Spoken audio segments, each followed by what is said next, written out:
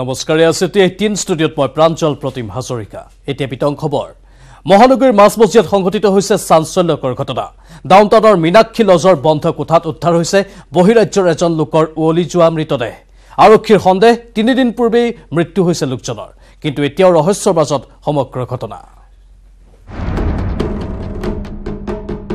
গুৱাহাটী মহানগৰীৰ লজত পুনৰ উদ্ধাৰ মৃতদেহ। ডাউনটাউনৰ মীনাক্ষী লজত উদ্ধাৰ এজন ব্যক্তিৰ মৃতদেহ। আৰক্ষীয়ে প্ৰকাশ কৰা অনুসৰি তিনিদিনমান পূৰ্বে মৃত্যু হৈছে এই লোকজনৰ। কিন্তু লক্ষণীয়ভাৱে এতিয়াও পলাতক অৱস্থাত আছে এই লজখনৰ কেয়াৰটেকাৰ থানেশ্বৰ কলিতা। এয়া মহানগৰীৰ ডাউনটাউনস্থিত মীনাক্ষী লজ। লজটোৰ এই কোঠাৰ মাটিত পৰি থকা অৱস্থাত উদ্ধাৰ হৈছে এজন লোকৰ মৃতদেহ। লোকজন বাংগালুৰুৰ শ্ৰীনিবাস ৰাঘৱন নৰসিংহ। আৰক্ষীয়ে সন্দেহ কৰা অনুসৰি তিনিদিনমান পূৰ্বেই মৃত্যু হৈছে লোকজনৰ তেওঁৰ নাম হ'ল শ্ৰীনিবাস ৰাঘৱন। তেওঁ তামিলনাডু একচুৱেলি ঘৰ। আৰু চাৰিদিনমান হ'ব লাগে চাৰিদিনমান ইয়া হ'ব লাগে যে ফুলি গৈছে একদম। গতিকে এতিয়া আমি পষ্টমৰ্টেমৰ কাৰণে পঠাই দিম। পষ্টমৰ্টেম আমি ৰিয়েল ফেক্টটো আমি গম পাম যে কেনেকুৱা কি হৈছিলে মানে। কিন্তু এয়া হত্যা নে আত্মহত্যা? লগে লগে উন্মোচিত হৈছে কেইবাটাও দিশ। কিয়নো তিনিদিন ধৰি কোনো সুংসূত্ৰ নাই লজখনৰ কেয়াৰটেকাৰ থানেশ্বৰ কলিতা। অন্তৰ্ধান লজখনৰ ৰেজিষ্টাৰ বুক ৰেজিষ্টাৰ বুকখনৰ সৈতে বেগটো তেওঁ কাপোৰ ভৰাই লৈ গুচি গ'ল। সেইকাৰণে ইয়াত আমি একো পোৱা নাই। খালি জাষ্ট কাৰ্ড এখন পাইছোঁ তেওঁ বেগত কোনে লৈ গৈছে? যিজন আছিলে কলিতা বুলি। নীলাক্ষী গোস্বামী নামৰ এই মহিলাগৰাকীয়ে চলোৱা এই লজটোৰ কোঠাত তিনিদিন ধৰি মৃতদেহ পৰি থকাৰ পিছতো উৱলি যোৱা মৃতদেহটোৰ গোন্ধতহে গম পালে লজ কৰ্তৃপক্ষই। ৰাতিপুৱাই তেওঁলোক তলা মাৰি পেলাই মেডিকেললৈ ওলাই গুচি যায়। গতিকে চব ৰুম চাফা কৰিব নোৱাৰে। বাথৰুম চাথৰুম যিবিলাক থাকে এইবোৰ চাফা কৰি পেলাই ওলাই গুচি যায়। আৰু যোনে তলা মাৰি থৈ যায় সেই ৰুমবোৰ চাফা নহয়। আৰু তেখেতৰ ৰুমটোৰ কথা মই ক'ব নোৱাৰিম কিন্তু মই নাছিলোঁ। মহানগৰীৰ লজত মৃতদেহ উদ্ধাৰ হোৱা ঘটনা এয়াই প্ৰথম নহয়। একেদৰে প্ৰথম নহয় এই লজসমূহে নীতি নিয়ম নমনাটো। ওঠৰটা কোঠাযুক্ত ডাউনটাউনস্থিত মীনাক্ষী লজত আছিল মাত্ৰ এজনেই কেয়াৰটেকাৰ লজখনত নাই কোনো চি চি টিভিৰ ব্যৱস্থা। দিছপুৰ আৰক্ষীয়ে ইতিমধ্যে এই ঘটনাৰ তদন্ত আৰম্ভ কৰিছে। পলাতক কেয়াৰটেকাৰ থানেশ্বৰ কলিতাৰ সন্ধান পালেহে স্পষ্ট হ'ব বহু দিশ। কেমেৰা পাৰ্চন মানৱজ্যোতি কলিতাৰ সহযোগত গুঞ্জন কলিতাৰ report news eighteen Assam north east. মহানগৰবাসীলৈ সুখবৰ। শীঘ্ৰে গুৱাহাটীৰ ৰাজপথত চলিব ইলেক্ট্ৰিক বাছ। মে' মাহৰ মাজভাগত পঁচিছখন ইলেক্ট্ৰিক বাছ আনি মহানগৰবাসীক সকাহ দিয়াৰ চেষ্টা ৰাজ্য চৰকাৰৰ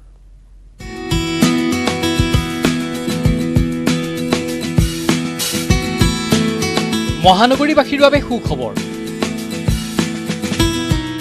গুৱাহাটীৰ ৰাজপথত চলিব ইলেক্ট্ৰিক বাছ। মে' মাহৰ মাজভাগত মহানগৰীলৈ আহিব পঁচিছখন ইলেক্ট্ৰিক বাছ। গুৱাহাটী মহানগৰীবাসীক সকাহ দিয়াৰ উদ্দেশ্যৰে এক অভিলাষী আঁচনি হাতত লৈছে ৰাজ্য চৰকাৰৰ পৰিবহণ বিভাগে। মুম্বাই লক্ষ্ণৌ কলকাতা আৰু জয়পুৰৰ পিছত প্ৰথমবাৰৰ বাবে গুৱাহাটীৰ ৰাজপথত চলিব ইন্ধনবিহীন বাছ। যাক কোৱা হয় ইলেক্ট্ৰিক বাছ। প্ৰথমবাৰৰ বাবে প্ৰাৰম্ভিক পৰ্যায়ত পঁচিছখন ইলেক্ট্ৰিক বাছ চলিব গুৱাহাটী মহানগৰীত। ইতিমধ্যে কৰ্ণাটকৰ মাৰ্কপলত সম্পূৰ্ণ হৈছে বাছকেইখনৰ নব্বৈ শতাংশ কাম। প্ৰথম অৱস্থাত শক্তিপীঠ কামাখ্যাৰ পৰা খানাপাৰালৈ চলিব বাছকেইখন তো আমি এতিয়া ইলেক্ট্ৰিক বছ কাৰণে গোটেই যিটো ইনফ্ৰাষ্ট্ৰাকচাৰ হ'ব লাগে তাক সাজু কৰি আছোঁ। প্ৰথমটো আমি চিটিতে চলাম। মা কামাখ্যাৰ মন্দিৰৰ পৰা প্ৰথম আমি ষ্টাৰ্ট কৰিম। যিমানবোৰ কামাখ্যা মন্দিৰৰ পৰা চলি আছে সেই গোটেইবোৰ ইলেক্ট্ৰিক কৰি দিম প্ৰথম। তাৰপিছত যিমান বাচি যাব তাক আমি আৰু জি এছ ৰোডত দি দিম। সকলো ধৰণৰ সুবিধা থকা প্ৰতিখন ইলেক্ট্ৰিক বাছত বহিব পাৰিব একত্ৰিছগৰাকীকৈ যাত্ৰী। ইয়াৰ উপৰিও এবাৰত ইঞ্জিন চাৰ্জ কৰাৰ পিছত বাছখন চলিব দুশ পঞ্চাছ কিলোমিটাৰ পৰ্যন্ত। শব্দবিহীন আৰু প্ৰদূষণবিহীন একোখন ইলেক্ট্ৰিক বাছৰ মূল্য হৈছে পঁচাশীৰ পৰা নব্বৈ লাখ টকা পৰ্যন্ত। মে' মাহৰ মাজভাগৰ পৰা মহানগৰবাসীয়ে যাত্ৰা কৰিব পাৰিব ইলেক্ট্ৰিক বাছকেইখনত। পঁচিছখন আহিব আৰম্ভণি আছে। কিন্তু তাৰপিছত আৰু বেছিকৈ গাড়ীবোৰ আহে মানুহো কিনে ধৰক মাত্ৰ বস্তুহে নহয় ইলেক্ট্ৰিক ভেহিকেলটো বিভিন্ন ধৰণৰ আছে তো বিভিন্ন ধৰণৰ ইলেক্ট্ৰিক ভেহিকেল কিনাৰ কাৰণে বা চলোৱাৰ কাৰণে আমি চকীয়া ইলেক্ট্ৰিক ভেহিকেল পলিচি লৈ আহি আছোঁ আমি ভাবোঁ এক ডেৰ মাহ ভিতৰত ৰাস্তাত নমাই দিম আমি গুৱাহাটী মহানগৰীত দিনে দিনে বাঢ়ি অহা প্ৰদূষণ ৰোধ কৰিবৰ বাবে ৰাজ্য চৰকাৰে গ্ৰহণ কৰিছে এনেধৰণৰ পদক্ষেপ। কেমেৰা পাৰ্চন অনুপ হালৈৰ সৈতে Hirakjyoti Malakar news eighteen Assam north east.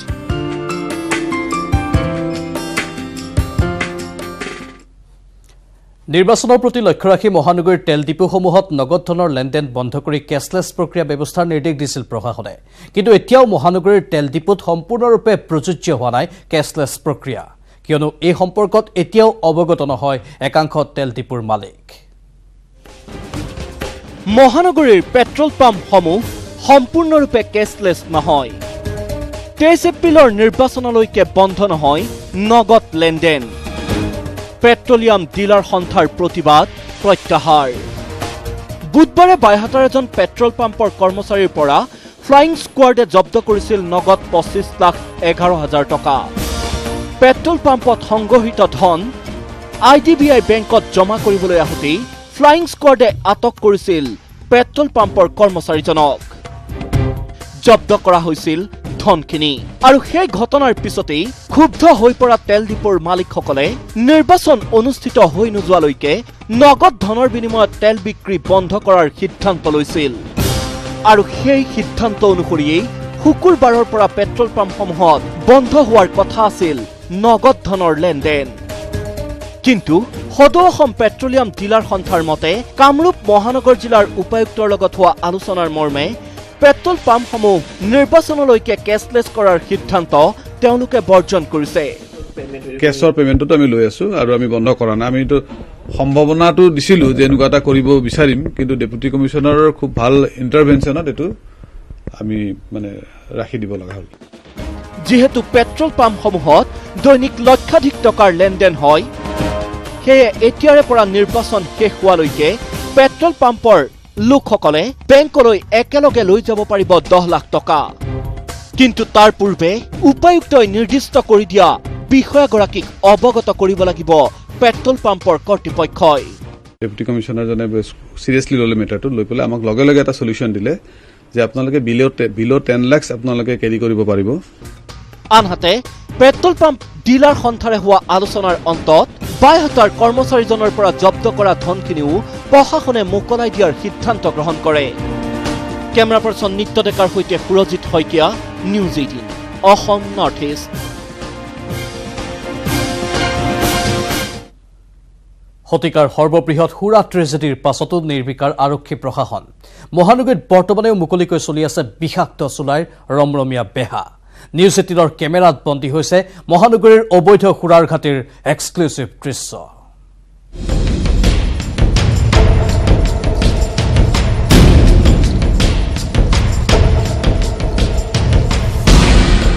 গুৱাহাটীত নিষিদ্ধ সুৰাৰ মুকলি বেহা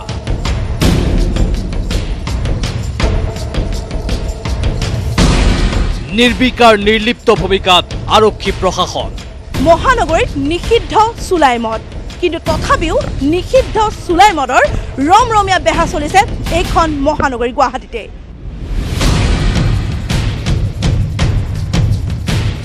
নিউজ এইটিনৰ কেমেৰা দেখিয়েই এজনে লৰ মাৰিছে।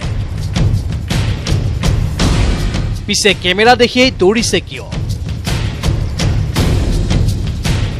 এই দৃশ্য মহানগৰীৰ মাজমজিয়াৰ আঠগাঁও উৰণীয়া সেতুৰ তলৰ। য'ত প্ৰতিদিনে এনেধৰণে বিহাৰৰ একাংশ লোকে চলাই আহিছে নিষিদ্ধ চুলাই মদৰ মুকলি বেহা এয়া চাওক ইজনৰ পিছত সিজন আহিছে। সকলোৰে লক্ষ্য এই চুলাই ঘাটিটো। তাৰ পৰা এই নিষিদ্ধ সামগ্ৰী ক্ৰয় কৰিছে আৰু আঁতৰি গৈছে। কিছুদিন পূৰ্বে কোনোৱে কল্পনা কৰিব নোৱাৰা ভয়ংকৰ ঘটনাই চুই গৈছিল উজনি অসম। বিষাক্ত সুৰাই প্ৰাণ লৈছিল বহুজনৰ। হস্পিটেলত মৃত্যুৰে যুঁজিছিল শতাধিক লোকে। তাৰ পাছতো মুক্তভাৱে আৰক্ষীৰ নাকৰ তলত মহানগৰীত চলি থাকিল এই নিষিদ্ধ চোলাই। নিষিদ্ধ কৰা গৈছিলে তাৰপাছত এনেকৈ?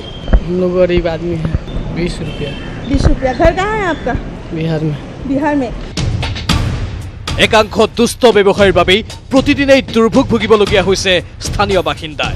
অঞ্চলটোত পুৱা সাত বজাৰ পৰাই আৰম্ভ হয় চুলাইৰ বজাৰ।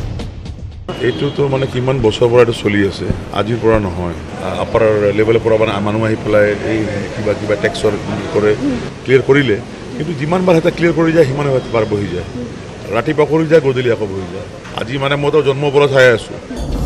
আৰক্ষী ট্ৰেফিক পইণ্টৰ পৰা মাত্ৰ কেইমিটাৰমান নিলগতেই এই চুলাইৰ বজাৰ চলি আছে। কিন্তু এইবোৰ কথা গমেই নাপায় আৰক্ষীয়ে। গম নাপায় নে দেখিও নেদেখাৰ ভাওজোৰে সেয়াও সন্দেহৰ আৱৰ্তন। আৰক্ষী প্ৰশাসনৰ আশীৰ্বাদ অবিহনে জানো এইদৰে নিষিদ্ধ চুলাইৰ মুকলি বেহা সম্ভৱ? কেমেৰা পাৰ্চন অনুপ হালৈৰ সহযোগত দীক্ষিতা বৰাৰ report news eighteen Assam north east. আনফালে মহানগৰীত ৰাজমিস্ত্ৰীৰ ৰূপত বাহৰ পাতিছে গভাইত চোৰে। সাতগাঁও আৰক্ষীয়ে গেং অফ ফ'ৰক গ্ৰেপ্তাৰৰ পাছতেই পোহৰলৈ আহিছে এই চাঞ্চল্যকৰ তথ্য। বিহুৰ অনুষ্ঠানৰ সুযোগ লৈ এঘৰত লুটপাত চলাইছিল ধৃতচাৰী গভাইত চোৰে। আৰক্ষীৰ জালত গেং অফ ফ'ৰ। ৰাজমিস্ত্ৰীৰ বেশত চুৰি কাৰ্য চাৰি গভাইত চোৰৰ। মোবাইল ফোনৰ আই এম ই আই নম্বৰৰ আঁত ধৰি আটক চোৰকেইটা। পহিলা বহাগৰ নিশা বিহুৰ কাৰ্যসূচী উপভোগ কৰিবলৈ গৈছিল মহানগৰীৰ সাতগাঁৱৰ নোৱাপাৰাৰ বাসিন্দা দীপক ডেকা। সেই সুবৰ্ণ সুযোগ হেৰুৱাব নিবিচাৰিলে এইটো স্মাৰ্ট চোৰৰ দলে। ঘৰত কোনো নথকাৰ সুযোগত দুৱাৰৰ তলা ভাঙি ভিতৰত প্ৰৱেশ কৰিলে চোৰৰ দলটোৱে। তাৰ পাছত এফালৰ পৰা ঘৰৰ সকলো সামগ্ৰী লণ্ডভণ্ড কৰি নগদ আঢ়ৈ লাখ টকা সোণ ৰূপৰ অলংকাৰ লেপটপ মোবাইল ফোনৰ লগতে গেছ চিলিণ্ডাৰ লুটি নিয়ে গেং অফ ফ'ৰে। সোণৰ অলংকাৰ নগদ পইচা লৈ আমাক কেছৰে ৰিপৰ্ট কৰিলে। আমি ইনভেষ্টিগেশ্যন কৰি আছিলোঁ। ইনভেষ্টিগেশ্যনত গম পালোঁ এই চোৰৰ এণ্টায়াৰ গেংটো দলগাঁও থানাৰ আণ্ডাৰত চিলডুবি বুলি ঠাই এডোখৰত সেইমতে আমি তাত এজন মানুহ এৰেষ্ট কৰিলোঁ। এইটো আপোনাৰ শ্বহীদুল বুলি এই ল'ৰাটো শ্বহীদুলক এৰেষ্ট কৰি তাক কাষ্টডি আনিলোঁ। যোৱা ৰাতি ইয়াৰ যিখিনি ইণ্টাৰগেশ্যনত সি দিলে আমাক ৰিভিলেশ্যন কৰিলে সেইখিনি বেছ কৰি আৰু তিনিজন মানুহ আনিলোঁ। পুৱতি নিশা ঘৰলৈ উভতি আহি দীপক ডেকাই দেখে ঘৰৰ ভিতৰত সকলো ধুবাং বাং চুৰি কাৰ্য সন্দৰ্ভত সাতগাঁও থানাত এজাহাৰ দাখিল কৰাৰ পাছতেই আৰক্ষীয়ে আৰম্ভ কৰে তদন্ত। চুৰি হোৱা মোবাইল ফোনৰ আই এম ই আই নম্বৰৰ আঁত ধৰি আৰক্ষীয়ে বৃহস্পতিবাৰে নিশা দৰঙৰ দলগাঁৱৰ পৰা চুৰি সামগ্ৰীসহ গ্ৰেপ্তাৰ কৰে চাৰি কভাইট চোৰ আব্বাছ আলী ছবিদুল কাজী মহিদুল ইছলাম আৰু জাকিৰ হুছেইনক। ধৃত চোৰকেইটাই চুৰি কৰা ধনেৰে এখন ই ৰিক্সা আৰু এখন মটৰ চাইকেল ক্ৰয় কৰে। ইতিমধ্যে আৰক্ষীয়ে চোৰকেইটাৰ পৰা জব্দ কৰিছে। ই ৰিক্সা মটৰ চাইকেল সোণৰূপৰ কিছু অলংকাৰ আৰু এটা চিলিণ্ডাৰ। তেওঁলোকৰ পৰা আমি এতিয়ালৈকে এটা সোণৰ আংটি এইটো গৃহস্থৰ নাম লিখা আছে ডি লিখা- মানে কমপ্লেইনেণ্টৰ নাম লিখা আছে আৰু ইয়াৰিং দুযোৰ ৰূপৰ অলপ অৰ্ণামেণ্টছ আছে। উল্লেখযোগ্য যে গুৱাহাটীত ৰাজমিস্ত্ৰী হিচাপে বাহৰ পাতি চুৰি কাৰ্য সংঘটিত কৰি অহাৰ সন্দেহ কৰিছে আৰক্ষীয়ে। পূৰ্বেও চুৰিৰ অভিযোগত কেইবাবাৰো জেললৈ গৈছিল এই কভাইট চোৰকেইটা। নুনমাটিৰ পৰা Ajay Barman news eighteen Assam north east.